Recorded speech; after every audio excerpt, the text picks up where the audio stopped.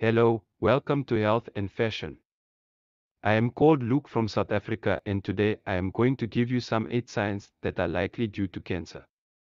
If you frequently see these signs please consult a doctor immediately. Before I continue please click on the subscription button to subscribe to this channel. If you frequently see these 8 signs on you please seek your doctor because you might be in a high risk of developing cancer. You shouldn't just rely on routine checks to keep cancer at bay. It's equally crucial to pay attention to your body and notice anything strange or illogical. Keep an eye on your health because early detection of cancer makes it easier and safe to treat it. In an alkaline environment, cancer cells do not reproduce as quickly as they do in an acidic one. These symptoms indicate that your cancer might have spread to other parts of your body. 1. Constant wheezing or breathlessness, breathing problems are among the initial symptoms that lung cancer patients remember. 2. Constant coughing or heart discomfort. Many cancers, such as leukemia and lung tumors, can cause symptoms that resemble a persistent cough or bronchitis. Chest pains that radiate to the shoulders or down the arm have been reported by some lung cancer patients. 3.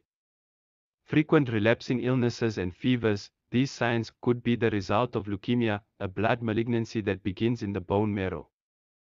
The formation of abnormal white blood cells by leukemia in the bone marrow lowers the body's resistance to infection. 4.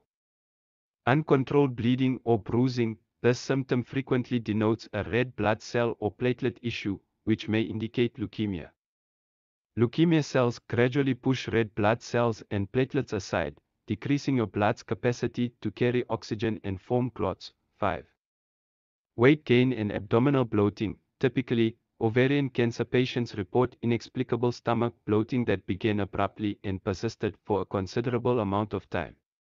6. Fecal blood or genital bleeding. This is a typical symptom of colorectal cancer.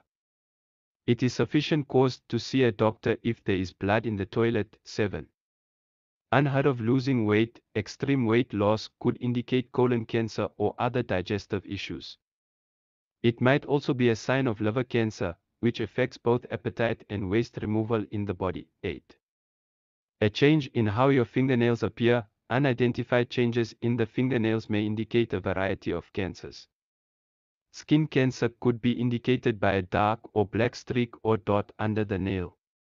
White or pale nails could be a sign of liver cancer. Thanks for watching and please see your doctor if you feel you have these signs. Please help me to share this video and save others' life.